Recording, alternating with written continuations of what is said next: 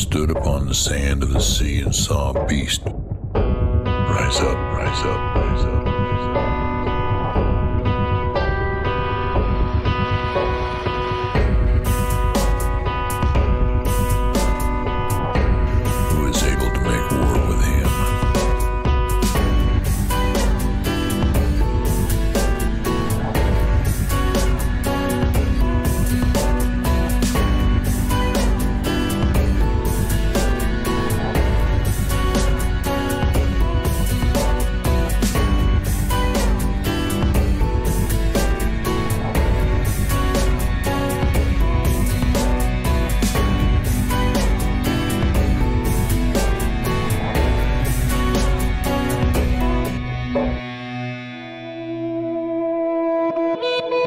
Good evening, everybody, and welcome once again to the Midnight Ride. Tonight, Jon Pounders and I are going to be bringing you a presentation entitled The Hellfire Club Satan's Change Agents. We're going to be looking at the fascinating history of the Hellfire Club, and we're going to be looking at how Satan uses secret societies to transform and change the world we're living in. And the best thing about this broadcast is you're not going to have to wait very long for it because it all starts right now because we're now Live, live, live. What's up, guys? Glad, to be here in the Puritan Barn with David uh, once again. And this show tonight is going to be amazing. And this is going to give us insight into uh, really how a lot of the powers that work that gathered their power and how they formed together and just the sheer amount of wickedness that um, goes on in the world. And there's no there's no mistaking where a lot of this stuff boils from. So tonight, this is going to be awesome. Let us know where you guys are from in the chat. Let us know what you guys are got going on, and uh, we will be right back after a word from our sponsors. Many mainstream companies put dangerous chemicals in their products that contribute to disease and disability. This is why it's so important that we take care in the products that we consume. The skin is the largest organ in your body and it is the covering to your temple. Our sponsor tonight is Sugar and Spice Soap Company.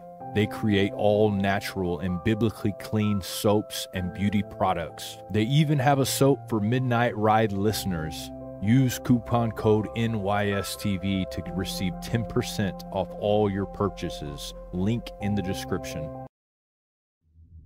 If this is true, then our country is in a lot of trouble. we would have these trips, these special trips. But he said, my, my daddy takes the bodies to the grocery store and he grinds them up and puts it in the hamburger. And nobody ever knows it. How can kids six, eight, ten years old be describing rituals that come from a book like the like the Book of the Dead?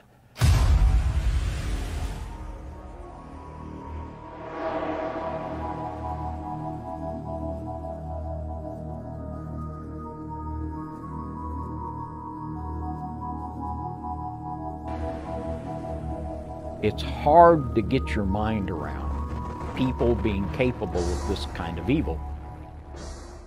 And we are back tonight on Now You See TV. And if you guys are interested in any of those sponsorships, go down in the link below and you'll see links there. And so make sure to check that stuff out. Uh, also, we got other shows coming up this week Breaking Babylon.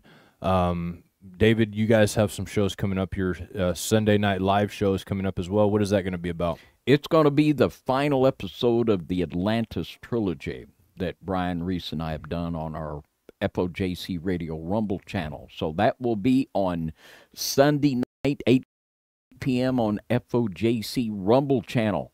So join us for that. It'll be a blessing for you. I guarantee it. Very good. So, David, tonight the topic, the Hellfire Club.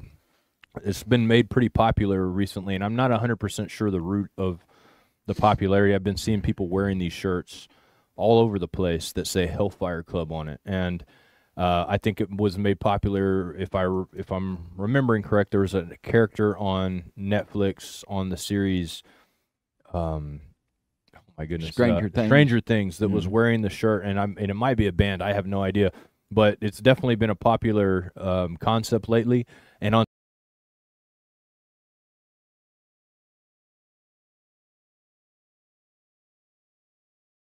top of that, it's about those rear gallop or let's do it. Let's ride. Let's right. ride. And tonight we're going to be, you know, it's shocking um, the terrific evil that many of our leaders and founding fathers were involved in. Just horrific evil.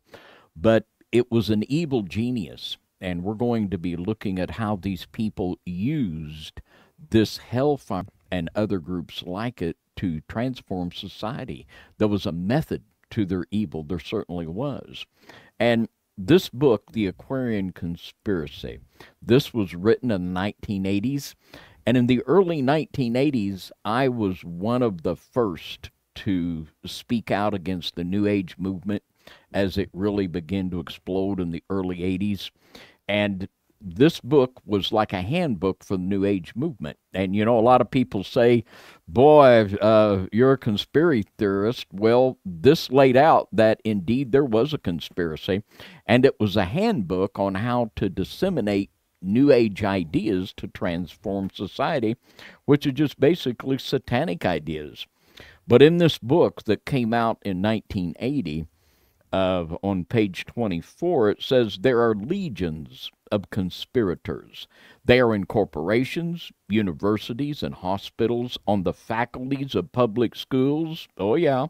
In universities, factories, and doctors' offices, and state and federal agencies, on city councils, and the White House staff. They have coalesced into small groups in every town and institution. They have formed what one called national non organizations. Some conspirators are keenly aware of the national, even international scope of the movement and are active in linking others. They are at once antenna and transmitters, both listening and communicating. They amplify the activities of the conspiracy by networking and pamphleteering, articulating the new options through books, lectures, school curricula, even congressional hearings and national media. Their goal is social transformation.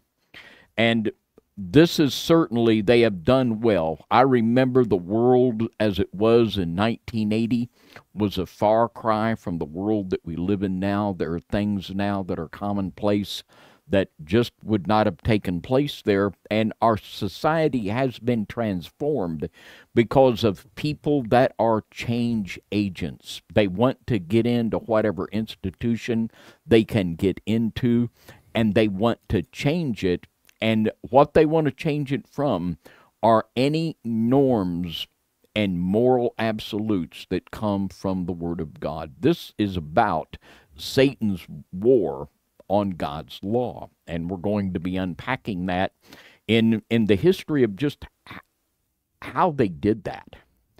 Now, this is a fellow here, Franciscos Rabelais, and he was involved in the Benedictine order, and he was also a Franciscan monk.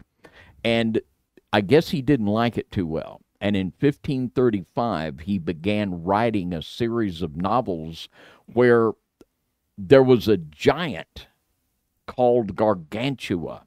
And this giant Gargantua built the Abbey of Thelema. Now, I've been quite familiar with Mr. Crowley and done a took a been looking at him for a number of years now, but I never knew until researching for this broadcast tonight that the Abbey of Thelema and do what thou wilt is the whole of the law. Crowley did not originate it. It come from this fella here, Franciscus Rabelais. And it is just amazing that he wrote like five novels that were published in the 1500s. They it became very popular, and of course, uh, in in Mister uh, Gargantua, and here's some just these pictures are just really wild of Gustav Dor, of this uh, giant Gargantua. And he was a very fleshly, of course. He enjoyed uh, all of his fleshly indulgences. And Gargantua built the Abbey of Thelema, where it wasn't just men there, but they had the men and the women there. and they were free to do anything they wanted, to have their orgies and do what they'll wilt, was the law of the Abbey of Thelema, started not by Mr. Aleister Crowley, but by this man, Francois Rabelais. Now, this is the basic concept that was laid down for the Hellfire Club. The Hellfire Club, and we should say the Hellfire Clubs, they were based upon the concept of Rabelais Abbey of Thelema, built by this uh, this giant, the Nephilim Gargantua. And this fella here is very important in the history of the Hellfire Clubs. He really started the first one and he started it in London in 1720. Now, you're going to appreciate this timeline. I'll give you a, a three historical bullet points here. In 1717, the Grand Lodge of England started, the Grand Lodge, Mother Lodge of Freemasonry in, uh, in England. In 1720, three years later, Philip, the Duke of Wharton, started his Hellfire Club with 40 elite people in London, both men and women, based upon the Abbey of Thelema, do what they will, they and they did whatever they wanted. And it got you you know, they just did every debaucherous thing they wanted to do. And then two years later, in 1722, Philip the Duke of Wharton became the head of all Freemasonry, the Grand Master of all Freemasonry. So 1717, the lodge started. 1720, he starts his Hellfire Club. Two years later, he's running the whole thing. And Mr. Hellfire Club. So this is a real glimpse into, you know, when you get people together and uh, you, you know all this stuff about them, I tell you what, it helps you move right up to the top. And this is an old game. This has been played for a long time. And it's the basic way that Satan operates to move his people right up the ladder. Yeah, it's a it's we were talking about this before the show, but it's such a good way for these people to get their feelers out. I think in the book you read it, t- it talked about being a feeler. It's uh, getting your feelers out to see who is wicked along with you. Who who can you trust to go above and beyond the wicked stage with you? And they start to filter people through this process. Man, it's amazing. But you know, in in in Evansville, for instance, David, the guy that probably has the most power in Evansville isn't the mayor, isn't the sheriff, isn't anybody like that. It's a guy that actually owns a strip club. He owns a strip club. He procures the different things. The uh, some would say he's in uh, does human trafficking. Some would say he's a drug trafficker, but this guy um, is friends with all the powerful people and in a very powerful position um, as a strip club owner. So you you can only imagine the kind of parties this guy has put together and probably uh, how much dirt he has on a lot of these people. Yeah, yeah, that's absolutely it's. Uh, that's the way that this has rolled for a long, long time, and that's the way it still rolls today. No doubt about that. I think that's one reason the the scripture warns so heavily against it. We've been going through the book of Proverbs series on the website, and one of the things that just warns so much against is just falling um, for the fleshly activities, because all of these fleshly activities end up end up to a point to where you may end up in the middle of one of these hellfire clubs. And next thing you know you've gotten yourself compromised in these positions. This happens a lot with people. Yeah. Yeah. And it's so easy uh, to trap mm. politicians or law enforcement people in this. And um, it's uh, it's a game they play very well now in the in the big picture here what we've got what we're going to see unfold as mr rabelais he came up with the law of Thelema, which is do what thou wilt, is the whole of the law. That means God's law's out. And that's what it's all about here. This, the Hellfire Club, is a war on the law of God. It's a war on any moral restraint. Its goal is to reduce society to much what we see today. Uh, and, and it's still swirling down the sewer as we speak. And we know what Jesus said I think not. Think not that I am come to destroy the law of the prophets. I am not come to destroy, but to fulfill. For verily I say unto you, till heaven and earth pass, one jot or one tittle shall in no wise pass from the law till all be fulfilled. And we cannot help but recognize the modern theological bent of the so called evangelical church in their disregard and all but total nullification of God's law. This is nothing but one of the outcries of this very thing. And we see, we've talked about the grace revolution, which is nothing but the sin revolution that uh, goes in, uh, that is so popular in the biggest churches here in the United States, that grace covers everything, you know. So uh, there's nothing you can do that'll ever separate you from God. And this creates a little hellfire club in people's minds that, yeah, well, I can do what I will and still go to heaven, and people are going to do what they will. And uh, it's because their hearts have never been changed and regenerated.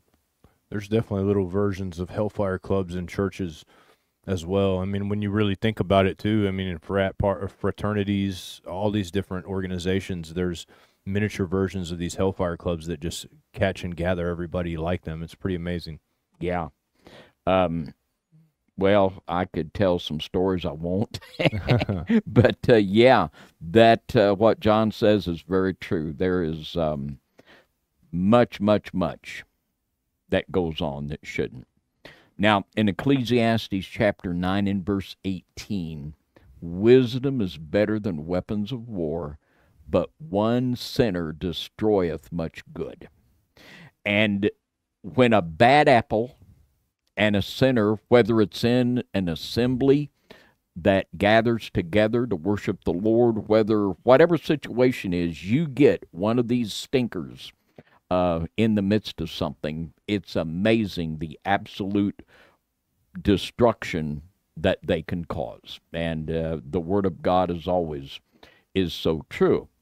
Now, here's a fella here that had his own little war on the law of God, Mr. Sabbatai Zevi, and we have talked about this fella before, Jon, and we've done an entire broadcast on on Mr. Zevi not that long yeah. ago on the Midnight Ride. I think we called it the Kabbalah Wizards. Is that right? Yeah, Flight of the Kabbalah Wizards, I believe. And we actually, I think we did that one on Rumble, David, because it was just some of the stuff that we described on that was a little bit um, too hard for YouTube, I think, you know, but possibly. But man, you know, I think people should check it out for sure over on Rumble. What an awesome broadcast. That book is uh, really eye opening, I think, in a lot of ways. There are other books that that detail uh, some of this stuff, but that one did a really good job of tying all of that, um, what you're talking about here, that twisting of the law into modern secret societies and into uh, how governments are ran. Yeah, and the con- and the book Jon's referring to here is um, 1666 Redemption Through Sin. There it is by Robert Sefer, and um, Mr. Zevi. He proclaimed himself to be the Messiah in 1666, and he believed in the concept of the holy sinner and he he would say that the more the bigger the act of sin you commit that the more it showed the glory of God in forgiving you. And I mean, they were in for wife swapping. He would, uh, and Joseph Frank after him, uh, Joseph Frank, they continued in the Frankist. And I mean, they would uh, literally give their children out for sex to other people, wife swap. There's nothing that they would not do. And for Mr. Zevi, who based what he did upon the Kabbalah, uh, this this is something that became very very popular. Um, one little excerpt here, and we're going to talk about uh, the festival of the Lamb uh, in just a moment but I'll read a little excerpt here from this book, which we we read uh, for research for this. It's the secret history of the Hellfire Club, and in laying the foundation for this, you cannot leave out Mr. Sabbatai Zevi. Um, he wrote this, uh, Mr. Geoffrey Ashe, on page 24 of this book. He says, It was not a long step from this soft peddling of the law to a marking down of morals in general. The Zohar, and that is the most preeminent book of the Kabbalah, the Zohar hinted that the Messiah himself, when he did come, would be outwardly evil. In the 1640s, this heady book was to inspire an actual would be Messiah, Sabbatai Zevi of Smyrna, who promised to do away with the law. And as we have said, there was nothing that he would not do or pursue in his concept of the Holy Sinner. And just again, could you just imagine uh, that whenever uh, he was able to compromise a man or a woman in uh, these sexual practices that you know he had them you know i mean he, he's got you could you imagine uh, giving a child to someone to have sex with. I mean that's how bad this was. It's ever bit this bad and more. You talk about a, a hellfire club set on the fire of hell that's what it is. And you see all of these things they have this common flavor.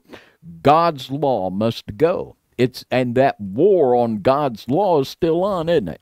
And in Second Thessalonians chapter two and verse eight, uh, and then shall that wicked be revealed, whom the Lord shall consume with the spirit of his mouth, and shall destroy with the brightness of his coming. And that word wicked in the lexicon, this is number 459 in the Greek, and what that means is destitute of the law, destitute of the Mosaic law, departing from the law, a violator of the law, lawless. And literally, this is the false prophet that he will, his program is no law.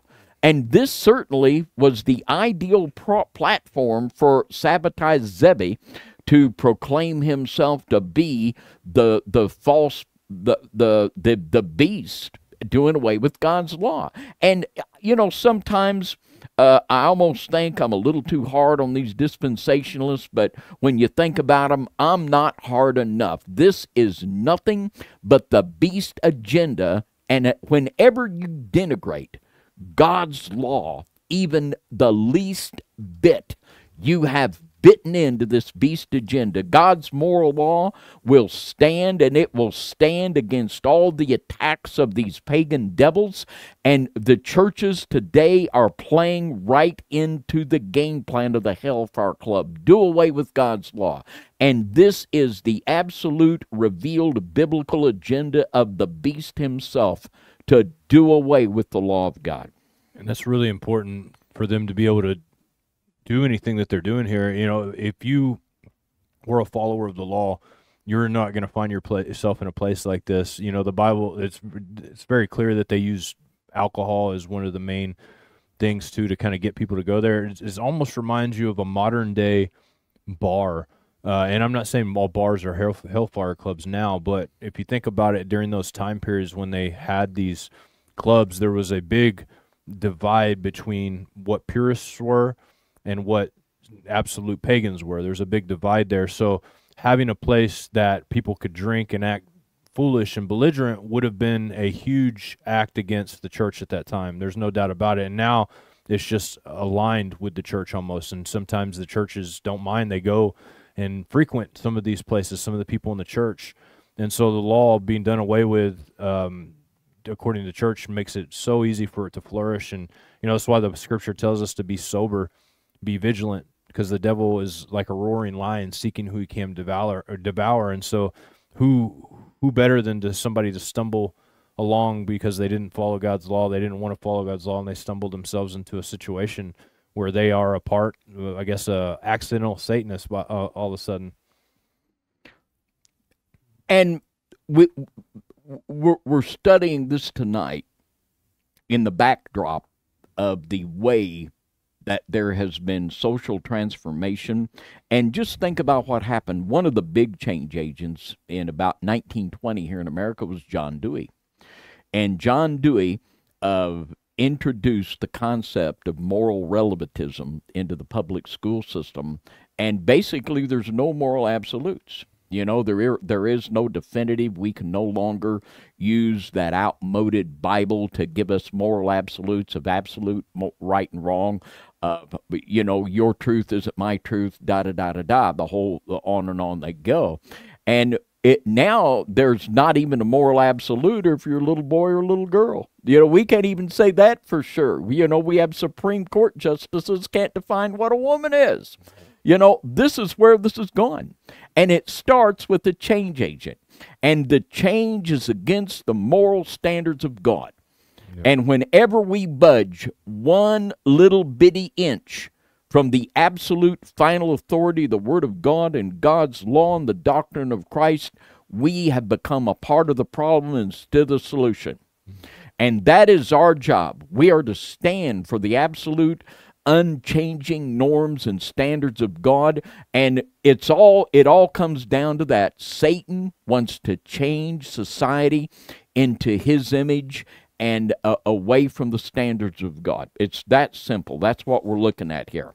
One of the original change agents that I can remember in the Bible was this Balaam and Balak situation. Oh yeah. That's a change situation. Where a hellfire club you know and we're just speaking in terms that modern day terms, but a Hellfire Club basically landed there in where the children of Israel were and promoted prostitution, all those different things, and basically changing the society to a way it could be judged. God wasn't going to punish or he wasn't going to curse Israel, but because of their own sins, because of whatever change agents were brought in, the Bible tells us that it was because of the teachings of Balaam, teaching Balak to cast a stumbling block yeah. that these people were cursed by God.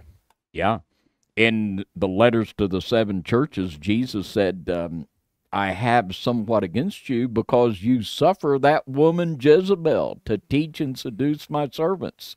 Yeah, Jezebel was a change agent bringing in false doctrine. And there are these people, you see them at work all the time. You see them in chat rooms. They want to spread their agenda. They want to spread their demonic filth. They want to do everything they can to bring their poison and their leaven with them wherever they can go. I'll read just a little bit here from this book by Robert Sefer, uh, 1666, uh, Redemption Through Sin, and read just a little bit about Sabbatai Zevi and uh, after him Joseph Frank. And like Jon said, we did a complete uh, midnight ride on the, and it's amazing because this Joseph Frank was there with Rothschild and Adam Weishaupt at the founding of the Illuminati. So this is really, really important concepts and history there on that um, the flight of the Kabbalah wizards, I believe we called it. But uh, it says here, uh, it is thought by some scholars, this is on page 16 of Mr. Sefer's book, it is thought by some scholars that Zevi had deeper connections with the Sufi order. Some similarities between the Sabbatai and Dönmeh include the deliberate violation of, uh, of the halal, ritualistic group sex or wife swapping, ecstatic singing, chanting, and belief in the mystical Kabbalah. A celebration on the 22nd day of the Hebrew month of Adar, known as the Festival of the Lamb. They said that the violation of the Torah had become its fulfillment, which they illustrated by the example of a grain of wheat that rots in the earth. That's how much they hated um, the God's law. And it says that it ended in total darkness with religious sexual sharing of daughters and wives. Uh, and a little note here J- Jacob Frank, and he was the successor of Sabbatai Zevi, and he started the secret society called the uh, the Dönmeh.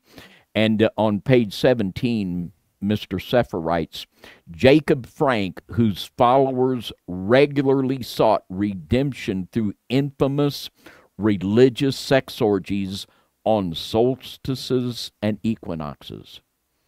Now, isn't it amazing? And of course, we've done so much in so many broadcasts about how the the solstice and the equinox these are the highest times of the satanic revelings uh, whether it be witchcraft or the Dönmeh or whatever and the, and so what what what does the church do and instead of doing the the feast of god that the bible says to do let's not do that. Let's do the equinoxes and the solstices. It's absolute insanity. But when you do away with the law of god i guess you can do what thou wilt can't you? That's exactly it man. That's such a such an interesting thought too. You know this time of year i didn't see hardly any mainstream churches talking about trumpets or atonement or or Feast of Tabernacles, but a lot of them already have their Halloween decorations up, man. It's it's amazing the how far we've fallen and people don't even see it. Yeah, yeah, they're gonna um, have their trunk or treat parties. Get ready for that. Well, I tell you what, we're going to do on Halloween Eve on FOJC. We're going to have a prayer-thon. We're going to have a throw the devil in the trunk prayer-thon. So we're going to do. Now, in Jude 12, it's interesting here because we, we see, and this goes way back. I could bring Morals and Dogma here that talked about a counterfeit Passover that was practiced in Egypt before the time of Christ. But it says in Jude 12, these are spots in your feast of charity when they feast with you, feeding themselves without fear Clouds they are without water, carried about of winds, trees whose fruit withereth, without fruit, twice dead, plucked up by the roots, which means at one time they were true believers. They died, they were born dead, they were born again, then they died again. We're talking about apostates here. And it just really seems to be that when it comes time for the feasts of God, that Satan absolutely will go all out in an assault with every squirrel that he can pull out of the forest. It just never fails. Um, in 2 Peter 2.13, and shall receive the reward of unrighteousness as they that count it pleasure to riot in the daytime. Spots they are and blemishes, sporting themselves with their own deceivings while they feast with you. And these change agents and these people that would promote wickedness and debauchery and lawlessness, they would come in to the early celebrations of the feast. And oh, yeah, the early church celebrated the feasts of God. We could bring our books out and show you that one.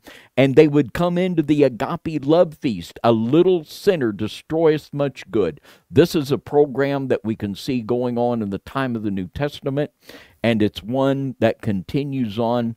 It is indeed the program of the Hellfire Club. In Daniel 7:25, and he shall speak great words against the most high, the beast that is, and shall wear out the saints. Anybody getting weary out there? Of the most high, and think to change times and laws this is another one of the primary satanic agendas to change the times and laws. This is something that there's an undeniable pattern here.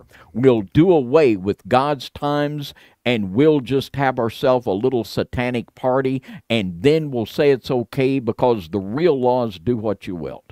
And this is a consistent program that we can see that they have been implementing for many, many, many years.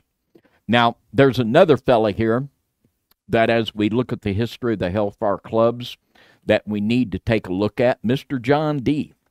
And Mr. John Dee was a really, really interesting fellow.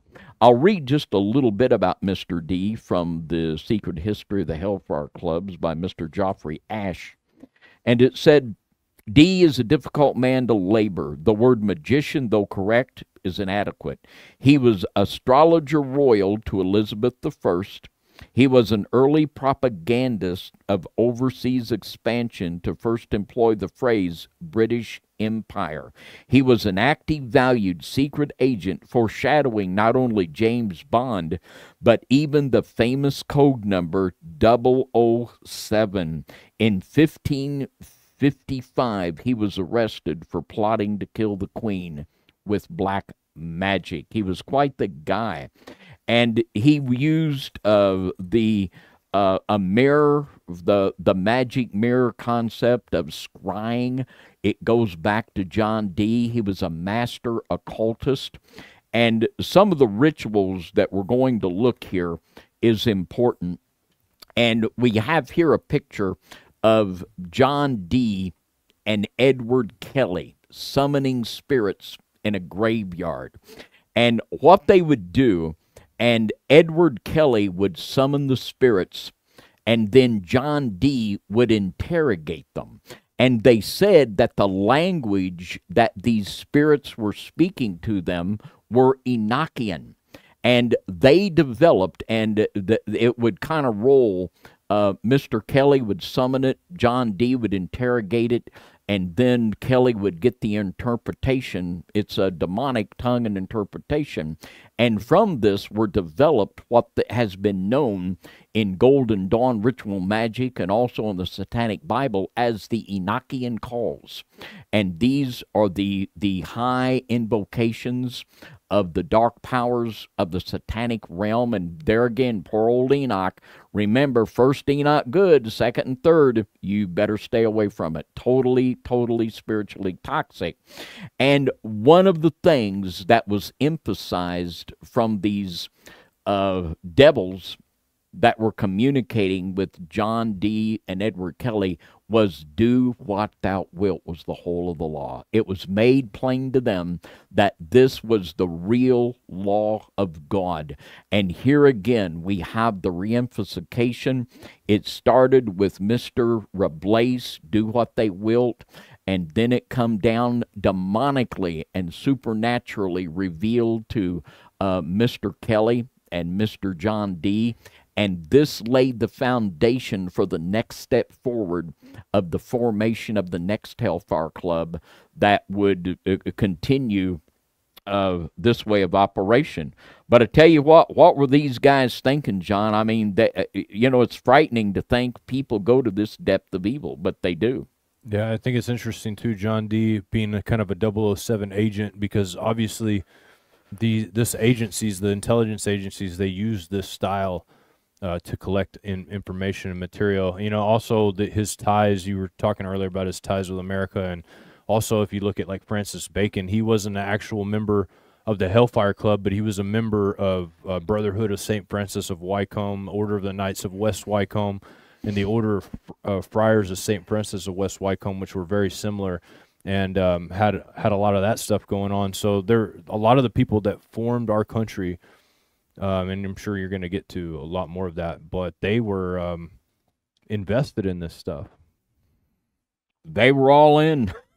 they were all in. I guarantee you. Uh, my goodness. Now, this is this is again. This is where the tire meets the road. Matthew twenty six forty two. He, he went away again the second time and prayed, saying, O my Father, if this cup may not pass away from me except I drink it, thy will be done. Jesus submitted himself to the will of the Father. And when we are born again, our stubborn, stubborn will is broken from self and is submitted unto the law and the will of God. We'll look at that word Thelema. And the Abbey of Thelema was originated, as we said, by Franciscus Rabelais, and this was made popular in our time through Aleister Crowley, the law of Thelema, do what thou wilt, the whole of the law. And Mr. Crowley had his own Abbey of Thelema in Italy, and Mussolini kicked Aleister Crowley. You know, Mussolini wasn't known for high morals, but Mussolini kicked Aleister Crowley deported him, kicked him out of Italy, and then he went to Pasadena, California, and he started the first OTO chapter in Pasadena, California, which uh, L. Ron Hubbard and uh, the Rocket Man, um, Jack Parsons, were part of that original OTO chapter out there in Pasadena, California, and uh, this actual word Thelema, well, what got Crowley, Crowley kicked out, he would have these do what thou wilt parties out there at his abbey of Thelema. And there was a teenage girl. She was a very in her early teens. And she was walking back into town from Crowley's Abbey of Thelema. And she was just so drugged and abused that she just died and just laid there by the side of the road. And uh, Mussolini himself deported Aleister Crowley uh, at that point. Mean, of course, America will will take him. You know, there you go. But one of the biggest change agents of all time. Now, that word Thelema, number 2307 in Thayer's lexicon, and it means absolutely that which a person wills and chooses to do. And the will of man is totally bent towards self. And in 2 Corinthians 5 and 17, therefore, if any man be in Christ, he is a new creature. Old things are passed away. Behold, all things are become new. That's the only thing that will break our stubborn fallen nature away from self. It's repenting of sin, bowing the knee to Christ as Lord, and accepting the payment, the death of Christ upon the cross as payment for our sin debt. That will give us new birth. That will give us a desire to do what is right instead of what is wrong. A person always does what they want to do. If you see a person sinning, that's because they want to do it. And until we're changed to where our want to is changed, um, we're going to keep doing what we wilt, and that it will be an un, unending spiral that will go down to the very pits of hell, quite literally. Now, this fella here, Sir Francis Dashwood, he established in the 1700s in England what they called the Abbey of Medmenham. And this is the Hellfire Club that most people are most familiar with. This was tremendously influential, and they're one of the most famous uh, frequenters of the Hellfire Club was Mr. Benjamin Franklin.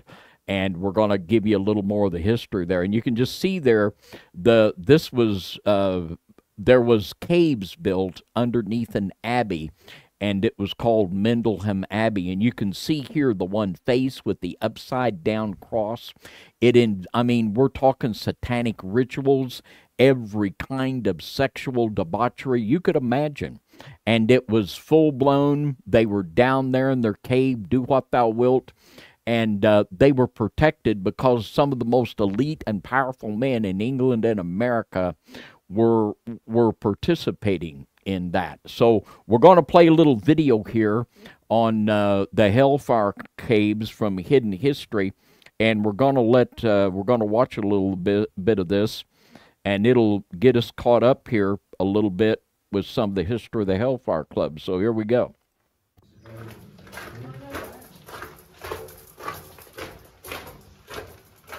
They were said to have hired, um, how shall I put this to maintain the monetizational and algorithmic integrity of this video, ladies of the night, evening women, femme de la nuit. Anyway, these um, practitioners of the oldest profession were said to have dressed as nuns in debauched episodes in the expansive central chamber. This was known as the banqueting hall. In it, they were surrounded by strange carvings of skulls, statues of female goddess figures from classical Greece, and even a recreation of the river Styx from Greek mythology, the river to the underworld. Members of the Hellfire Club wore white flowing robes and adopted religious titles like abbot. They wore masks and a badge with the club's motto, Libertate Amicitiae Sac, sacred to liberty and friendship although another motto would also be attributed to the club, Fais ce que tu voudrais, do what thou wilt, a phrase that would later be adopted by the infamous occultist Aleister Crowley. No one really knows exactly what took place at these meetings, which were kept highly secret, but they could have included pagan practices, occult rituals, and even black magic and devil worship. The official guidebook rather glosses over some of the more lurid tales of debauchery, but the author, one Sir Francis Dashwood, 11th Baronet of West Wycombe, a descendant of the cave's builder, is either sticking scrupulously to the verifiable facts or perhaps seeking to defend the family name. It makes for an interesting read nonetheless. So, who was a party to the meetings at the caves? This again is open to interpretation, but is likely to have included the artist William Hogarth, radical journalist John Wilkes, John Montagu, the fourth Earl of Sandwich, the judge and antiquarian Robert Vansittart, and perhaps most significantly, considering what happened in 1776, US founding father, pioneer of electrical science, and serial philanderer Benjamin Franklin. Franklin was a close associate of Dashwood, and together, when relations between the American colonies and the home government deteriorated, they endeavoured to bring about a reconciliation. Franklin, who visited the caves on a number of occasions, had hoped that America would develop within the British Empire and by its growth become the centre of the empire without struggle or bloody revolution. In 1770, the pair drew up a plan of reconciliation as an attempt to find a basis for compromise which might avert any open conflict towards independence. The plan was ultimately unsuccessful, and the rest, as they say, is history. But was the seed of the independence movement born in the Hellfire Club meetings and banquets in these caves? John. Okay. But isn't it amazing that Miss and Francis Dashwood and Benjamin Franklin were very close friends. When Franklin was in England, he stayed in Dashwood's home. And there were actually talks during the Revolutionary War, and uh, we might call it a plan for America to stay under the British rule negotiated by Dashwood and Franklin. Some people theorize that that actually happened.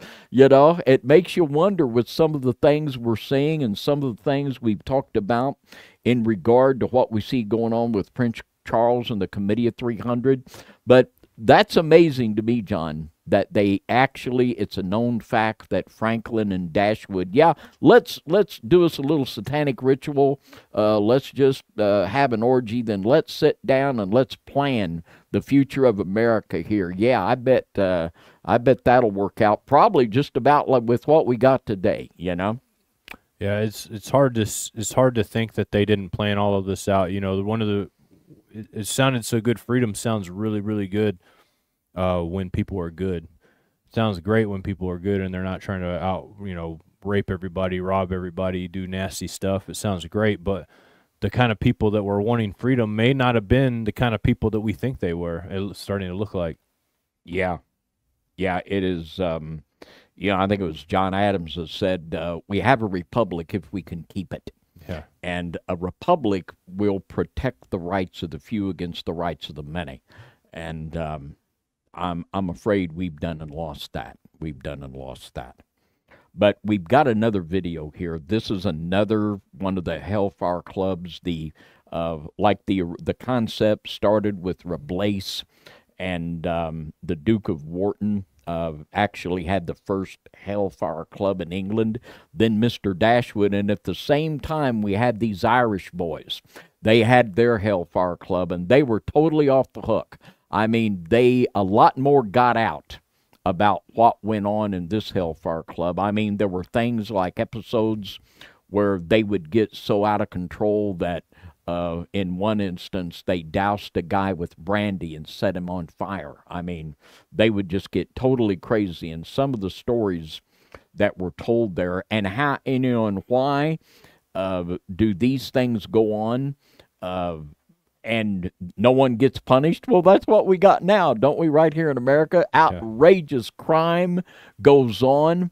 Uh, just from Mr. Biden, like uh, we're talking $21 million from foreign countries. You know, no one gets punished. The same thing here. They'd pour brandy on people and set them on fire because the people here, they were the elite and the powerful that were doing what they will. The whole is the law. It's the same old story, the same old song and dance.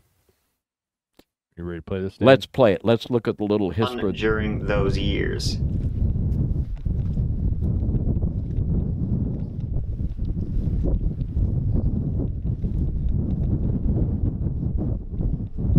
Hellfire Club. It's spooky, like a family spending a nice afternoon at the Hellfire Club. Let's go.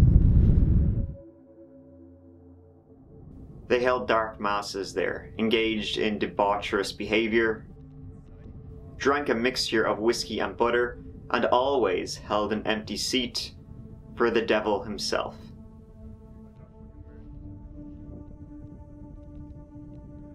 The mascot for the Hellfire Club was a black cat, and supposedly a large black demon cat roams the woods surrounding the Hellfire Club on this hill. So that's fun. There are tales of human and animal sacrifices, satanic rituals, and demonic manifestations.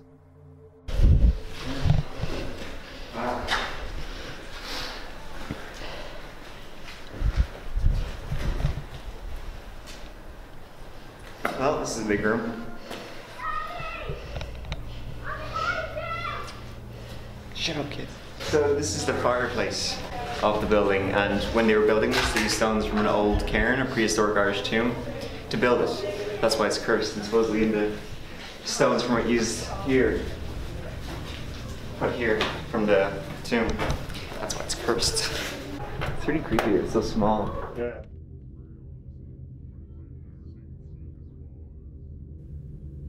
Another story about the club concerns a young farmer who, curious to find out what went on at the meetings, climbed up Montpelier one night.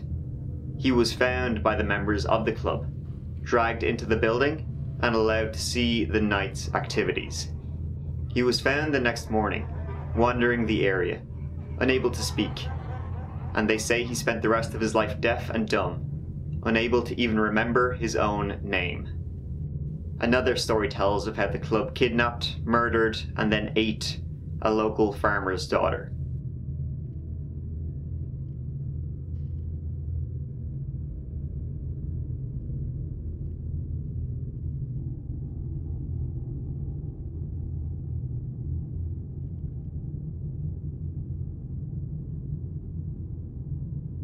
Here's another story. A young visitor to the local farmhouse insisted on going to investigate the Hellfire Club. He was found dead the next day, lying face down in a mountain stream. His host believed that the boy had been murdered, and he asked the clergyman to accompany him to the Hellfire Club. When they got to the club, darkness was falling. They knocked on the door, and it was opened by a tall, black cloaked man. When they entered the building, they were immediately grabbed from behind and hustled into the dining room. A banquet was about to begin, so the two men were pushed into chairs. A majestic looking black cat stalked into the room and took his place at the head of the table. The priest noticed that the ears of the cat were not erect, but lying like horns at either side of the head. The wide, deep eyes glared hatred at the priest, who rose to his feet, intending to leave the devilish assembly. He was grabbed and pushed back into his chair. Realizing that he had a small bottle of holy water in his pocket, he threw it with all possible force at the cat, while at the same time he recited an exorcism. Chaos erupted, but in the middle of it all could be heard the terrified screams of the farmer. The priest continued to pray until the smell of sulfur and smoke forced him to leave the building. Outside, he found the farmer lying on the ground, his face and neck deeply scratched by strong claws. He never recovered. According to legend, the next morning, the burned out Hellfire Club stood a ruin on the hilltop, as it does today. Supposedly, there you go. spirits and demons still lurk in the building. Sorry about that. I'm And the trying to mute it here. surrounding- There we go. Alrighty.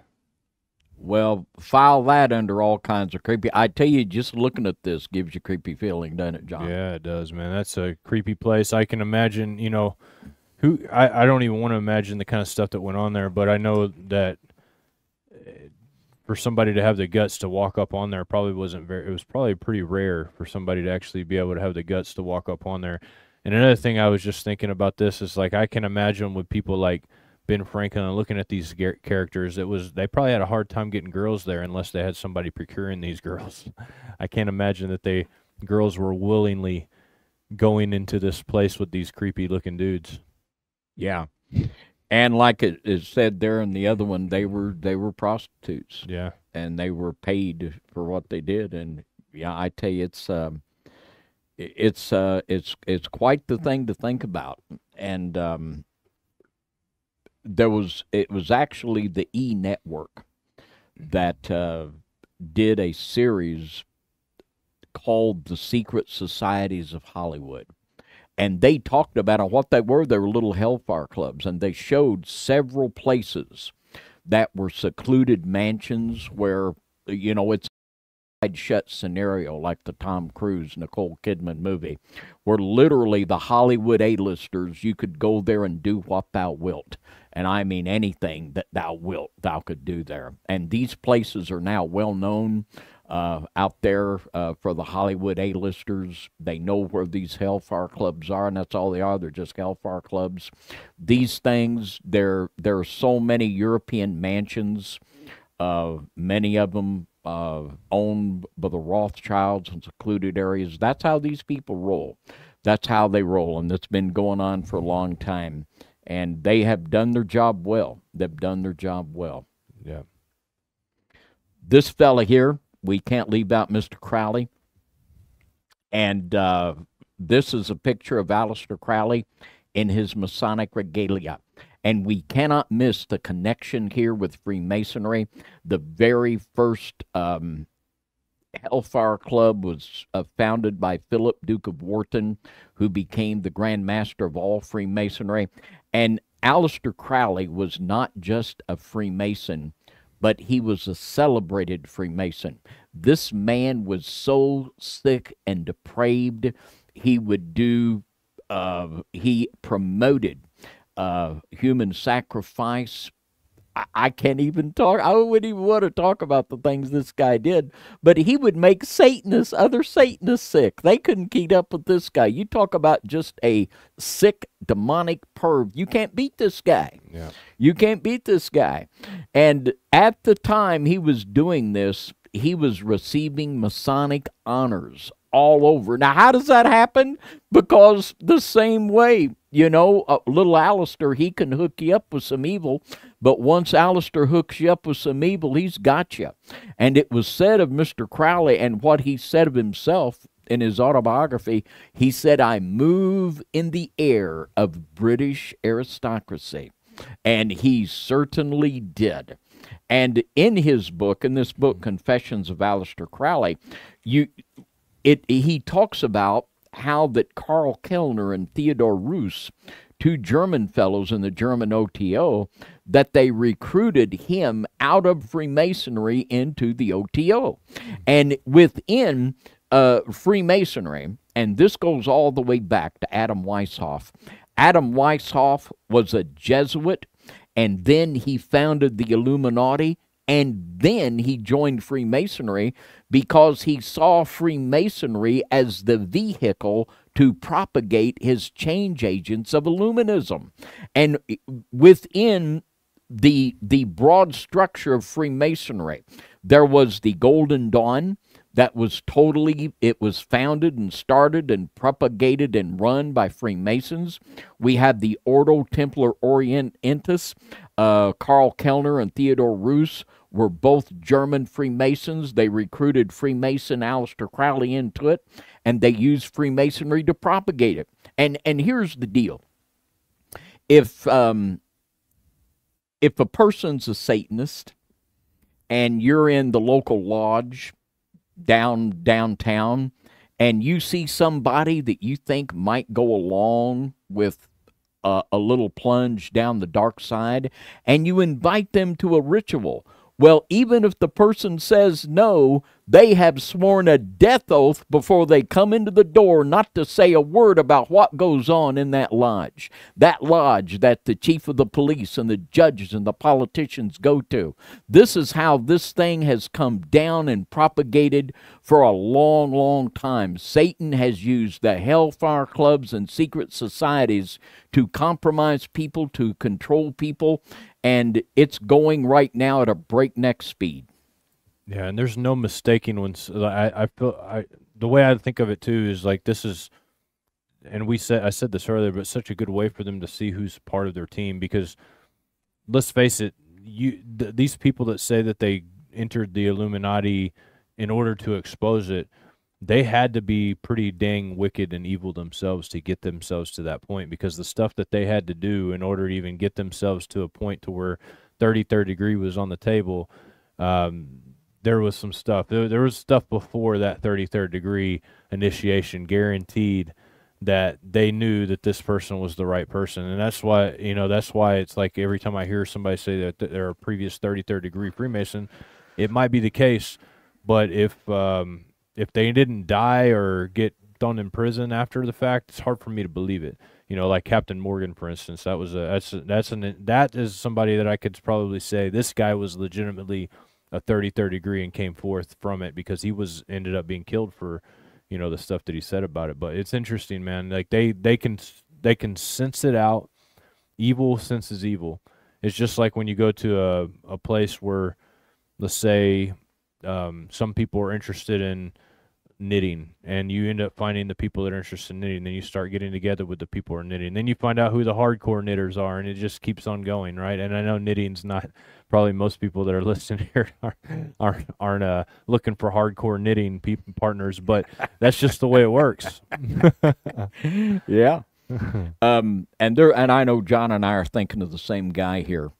And uh, there's a guy out there that um 33rd degree Freemason is a member of the OTO, and but he's a good Freemason, a good OTO guy, yeah. and he's going to tell us the truth.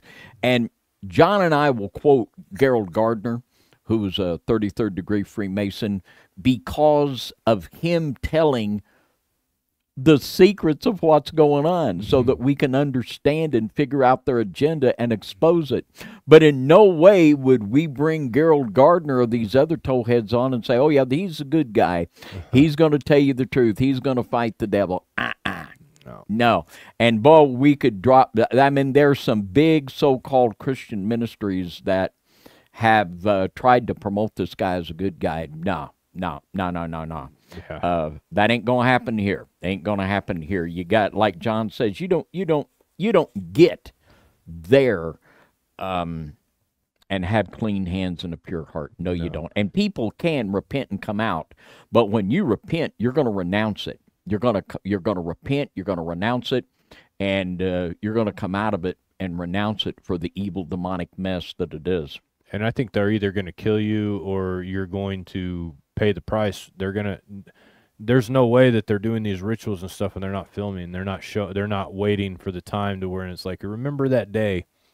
You remember that day when we had that ritual. You remember that day when that prostitute came by. Well, here's a here's a video, man. I found of you with that prostitute and with that in that ritual. Are you ready to?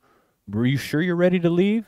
Are you sure? Because you know, this is what happens when you leave, and this that's why it's like yeah they they may repent and they come out. I believe that that's possible but i don't believe they're coming out without that footage being revealed without something being done to them and when they get to that level. I really don't. Like i just don't see it. Yeah maybe 32nd degree down below but once they get to that 33rd degree they've already done some things that are beyond the point of no return as far as maybe not forgiveness from god but beyond the point of return being able to live a life where they can just wander around the streets. I just don't believe that's possible. It's like the mafia. You once you're in, you're in type thing. You know, I really believe that. At least at 33rd degree. I could be wrong, but I just can't see them letting people like that get to that point without them knowing for sure that that person's on their team. I just can't see it. Yeah, um, some of you remember the what happened in Matamoros, Mexico. Uh, been several years ago now and Matamoros is right across um, the border, and it's a popular spring break destination mm-hmm. down at Matamoros. And there was a place discovered there where there was a cauldron that had I, I man it was like a dozen different parts of bodies in a cauldron where they were they were doing palo mayombe human sacrifice and drug traffickers would do rituals with human sacrifice and they would believe it would make them invisible and uh, and the kind of the way it would go and you know the old game that's been played and is still played you know, well, invite the, the local the local mayor over and get him good and drunk, and then just let him go with the girl, and we'll just videotape it, and there we got him.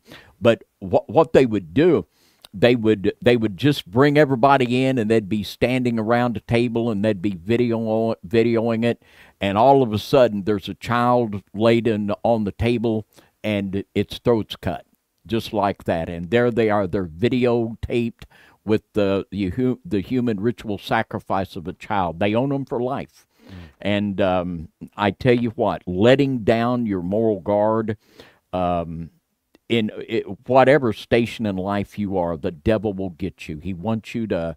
Uh, he he, you know, he's out there seeking to devour you. He really is, mm. and um, that's the way it goes. Yeah.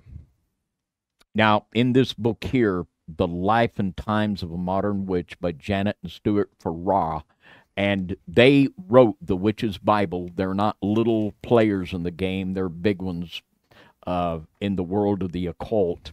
And I want to read something here on page uh, 121 of this book. And it says here uh, it is generally agreed that the biggest single influence in the modern expansion of ritual magic and the occult explosion in general in the Western world was the Golden Dawn.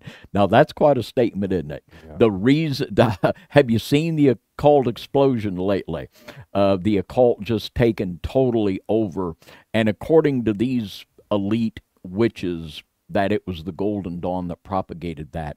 Going on, they says this magical fraternity founded by Freemasons at the end of the 19th century, developed a complex ritual system with 10 degrees of initiation relating to the Kabbalistic Sephiroth. Now, we've got a little pattern there. We keep seeing Kabbalah, we keep seeing Freemasonry. Going on, the Golden Dawn rituals, originally highly secret, were eventually published and are the basis of several still existing fraternities and groups. Little, little, um, little change agents there. Now, some of the people involved in the Golden Dawn, Aleister Crowley was in the Golden Dawn. Uh, Arthur Edward Waite is another fella. He is a huge player. Um, I could bring in a stack of books that Mr. Waite wrote that were occult classics uh, he wrote uh, a history of Freeman. He wrote a Masonic encyclopedia, and he also wrote a textbook on black magic. You know, and a lot uh, used to in seminars, I'd hold these two up side by side. Yeah, uh, do we see a connection here? And the connection between Freemasonry and these totally dark groups and these totally dark people, it's undeniable. I mean, good grief. And this book here, this is just one example of how not only was the Golden Dawn the disseminator, and well, we've got Crowley, we've got A.E. Waite, S.L. MacGregor Mathers, who translated many of the Kabbalistic works into English.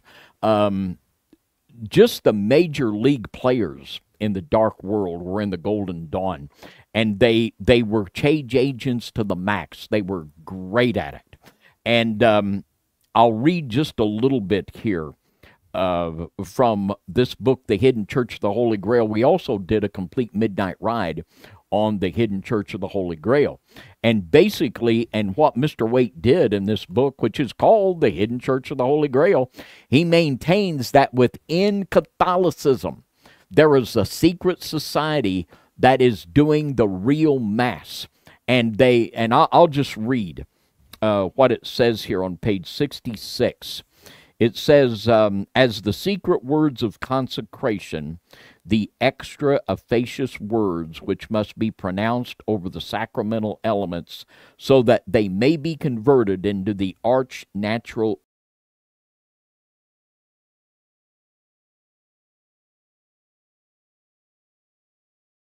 you have in writing in a lost or hypothetical book.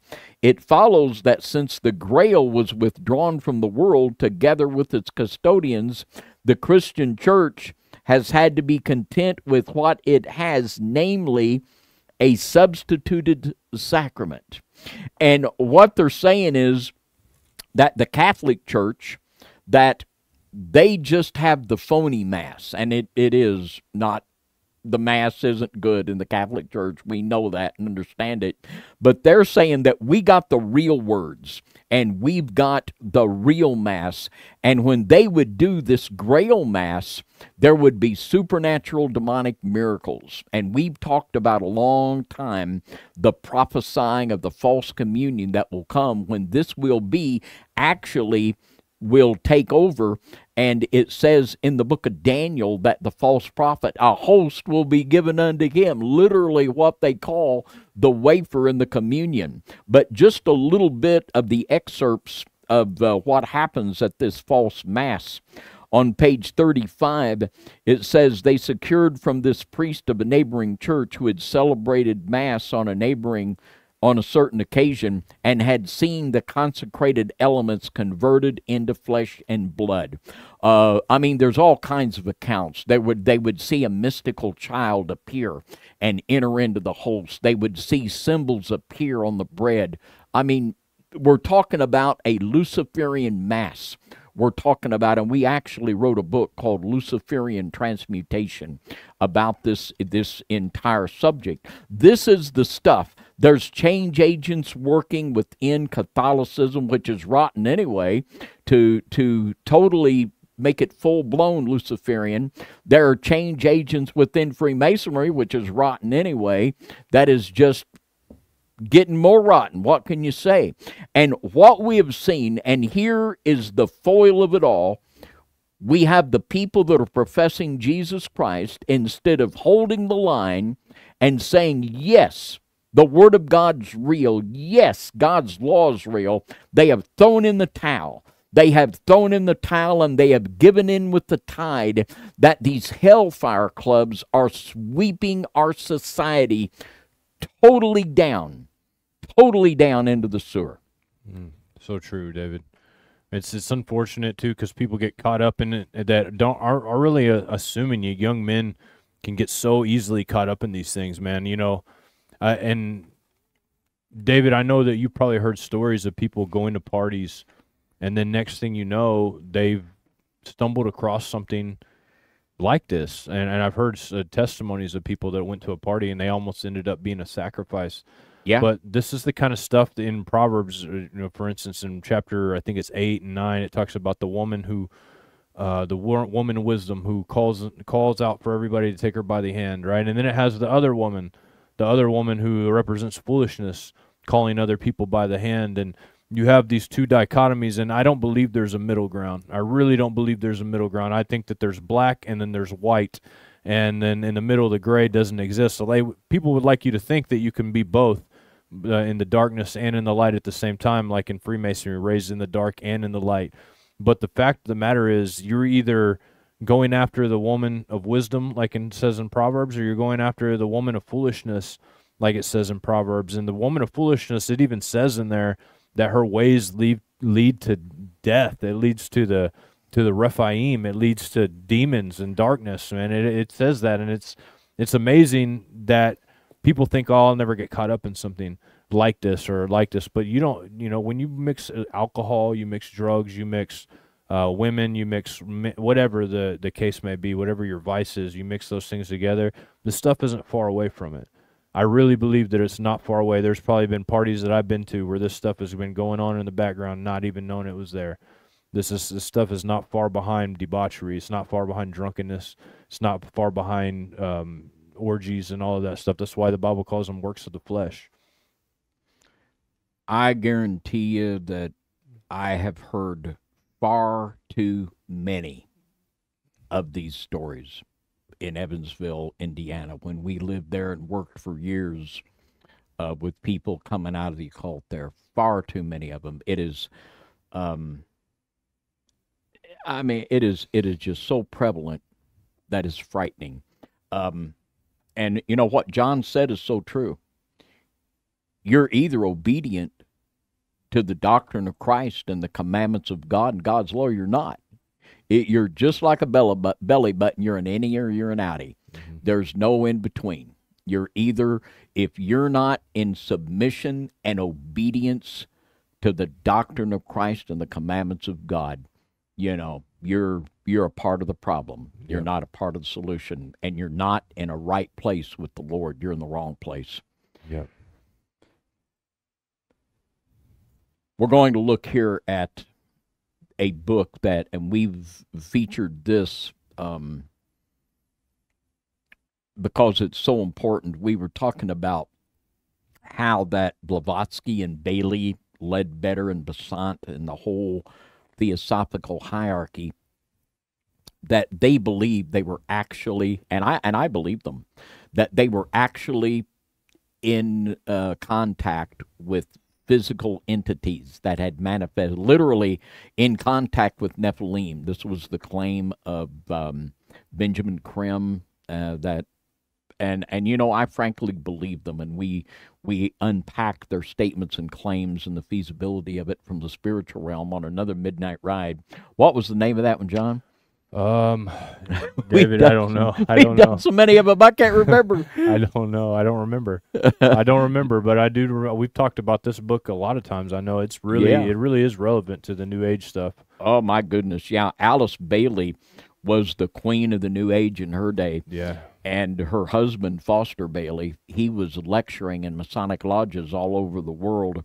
I have his books. Um, uh, I I can't remember the exact title of it, but I have his book at home. He wrote on Freemasonry, still published by the Macoy Masonic Publishing Company. Mm-hmm. But this is what it says on page 511. Here comes some more change agents.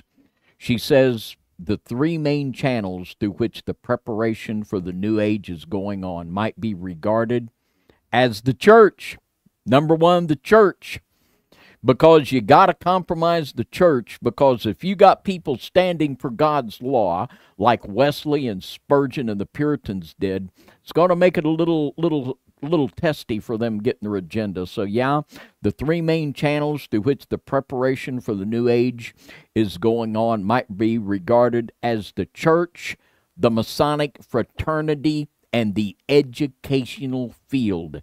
There is the satanic trifecta of infiltration. My goodness, uh, we've said so much, and we could never say enough about the grooming that has come in in the in the schools. It's absolutely horrific. Uh, it, uh, you know, it just is so disheartening, and goes on to say that uh, on the same page there, uh, the Masonic movement, when it can be divorced from political and social ends and from its present paralyzing condition of inertia, will meet the need of those who can and should wield power. It is the custodian of the law. now, listen to that.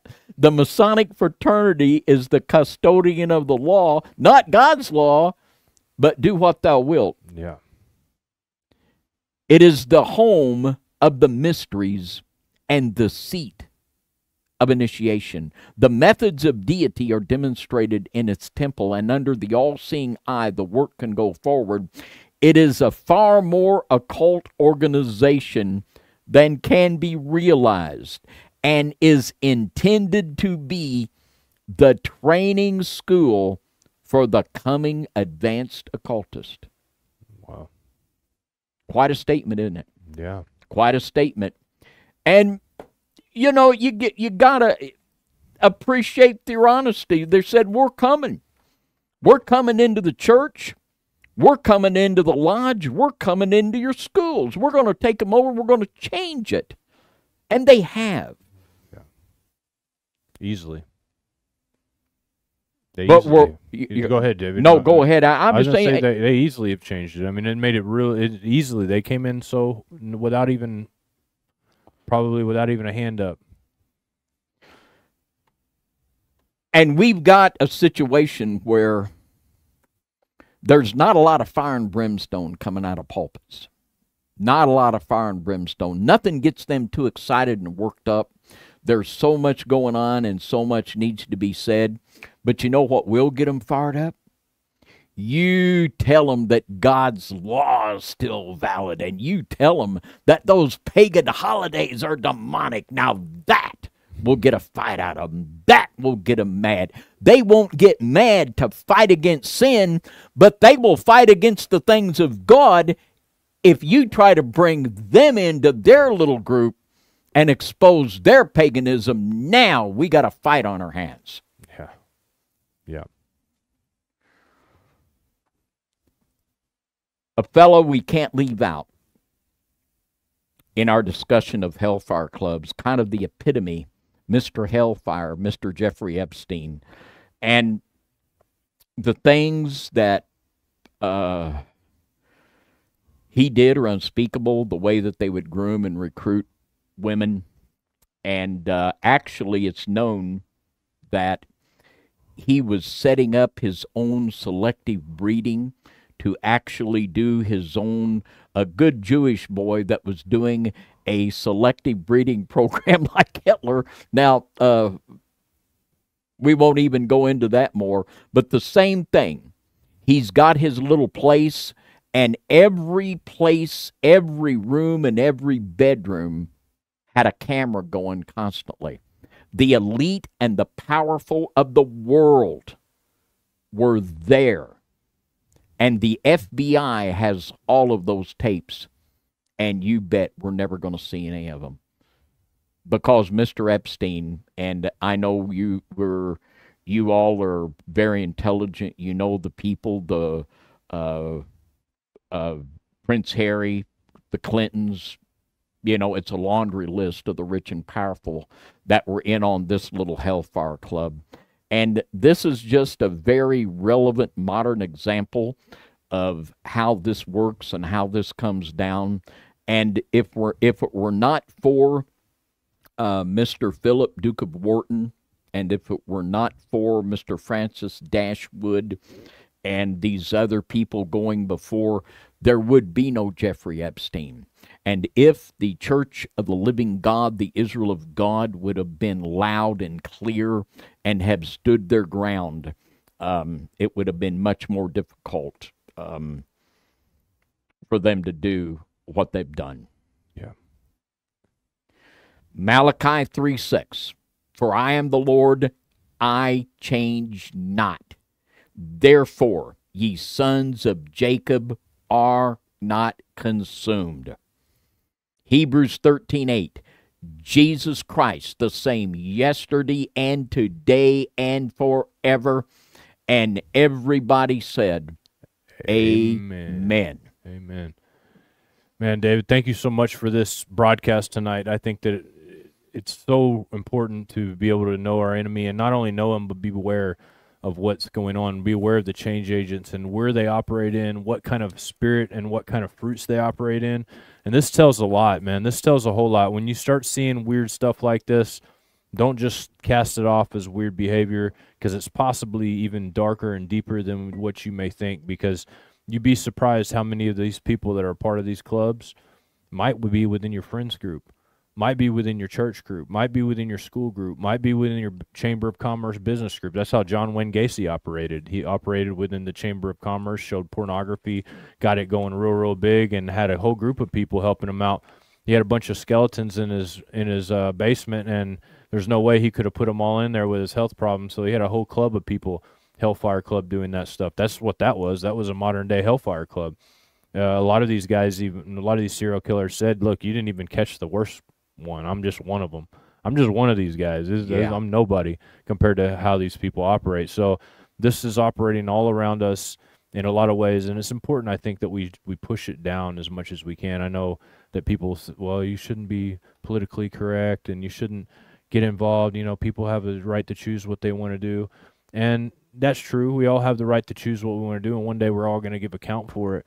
But ultimately, you also have the right to choose whether somebody's acting like that in, inside of your circle, inside of your space. If somebody's inside of your space doing horrible things like this, you have a right and you have the ability to petition God, to petition uh, anything you can to stop this stuff from happening. And I think part of the problem is that we've allowed this stuff to happen under our face for the longest time because you know David's been saying it all the time corruption people have been corrupted by these groups and so they're not willing to stand up against them but those of us that have not been corrupted by these groups I think it's important that we do stand against them so thank you David for that man do you have any other final words you want to portray before we get off of here? Well, I want to say this that the good news is there are thousands of you out there. There are thousands of you, and the number is growing every day that are coming into submission to Jesus Christ, the doctrine of Christ, and the commandments of God that are going to stand strong for the unchanging standards of the unchanging God that's revealed to us in Scripture. And the Lord, just like in Gideon's army, he said that everyone that's afraid go home, two thirds of them left. But Yeah. that did not prevent the Lord from bringing the victory because the battle is the Lord's. And we are so aware and so thankful for the thousands of you that are standing with the Lord and uh, uplifting the standards of the Word of God. So we have very much to be encouraged and thankful for this evening. Amen and amen. Thank you, David. And tonight, this is the point where we do the Pounders Pound. This is where we pound the like button on the count of three all together, get the algorithm going, let people know this show's worth watching. So here we go, David, on the count of three. Count us down. One, One, two, two, three, boom. Boom. That was good. I could feel that one all the way over here. Thank you guys so much. We appreciate you, all of you who support what we do and watch and subscribe and share. We could not do this without you. So please know that you're greatly appreciated. And we hope to see you guys next time on the Midnight Ride. David, end us out here. as always, with great thankfulness to the Lord and great thankfulness unto you, our Midnight Ride listeners, we could not do what we do without you. Thank you so very much. So, with that, until next Saturday night, 10 p.m. Central, high five and good night, everybody, from the Midnight Ride.